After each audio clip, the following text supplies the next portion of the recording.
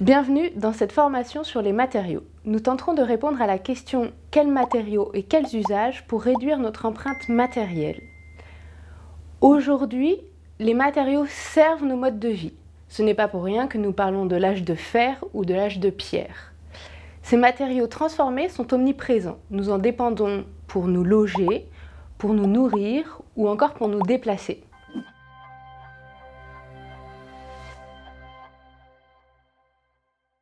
Nous produisons plus de 450 millions de tonnes de plastique par an. Directement issus des ressources fossiles, ils sont toxiques pour la santé et leur mauvaise gestion de fin de vie induit des pollutions sur les écosystèmes terrestres et marins. L'ONU avertit qu'en 2050, il pourrait y avoir plus de plastique que de poissons dans les océans. Les grands métaux industriels, tels que le fer ou le cuivre, continuent d'être exploités à une croissance annuelle de 3%. Les métaux dits de spécialité, comme les terres rares, ont eux une croissance de 6% par an. L'extraction de ces métaux est de plus en plus coûteuse en eau et en énergie, et donc émettrice de gaz à effet de serre. En effet, les minerais sont de plus en plus difficiles d'accès et de moins en moins concentrés en métaux. Un des piliers de nos modes de vie actuels est le ciment. Ce mélange de sable et de chaux chauffés à très haute température est nécessaire pour la construction des infrastructures qui nous entourent. La Chine en a consommé en 3 ans ce que les États-Unis ont consommé en 100 ans.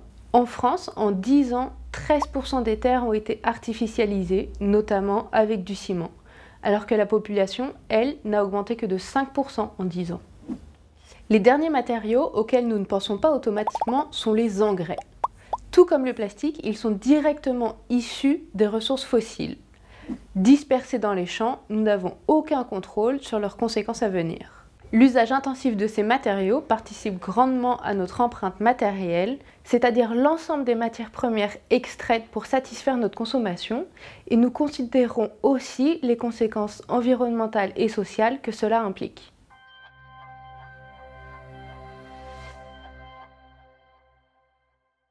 Nous ferons dans un premier temps l'état des lieux. Nous parlerons de nouveau d'empreintes matérielles, d'économie circulaire ou encore de recyclage. Dans un deuxième temps, nous vous partagerons des solutions mises en place par différents organismes, que ce soit au niveau de la sobriété, de l'éco-conception, de la mesure de cette empreinte matérielle ou encore du recyclage. Enfin, nous vous partagerons les gains et bénéfices que nous apporte la mise en place de ces solutions à l'échelle de l'organisation ou du territoire. Cette formation est valable pour tous les domaines d'activité.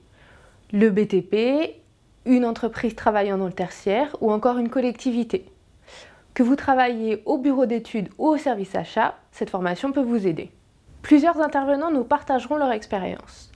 Emmanuel Poisson-Quinton du fonds de dotation Explore, Christophe Ballet, enseignant-chercheur à l'Université de Bretagne Sud, Alexandre Talek, cofondateur de Rehab, une entreprise travaillant dans le recyclage, et Erwan Grossman, ingénieur en biomatériaux chez Kairos.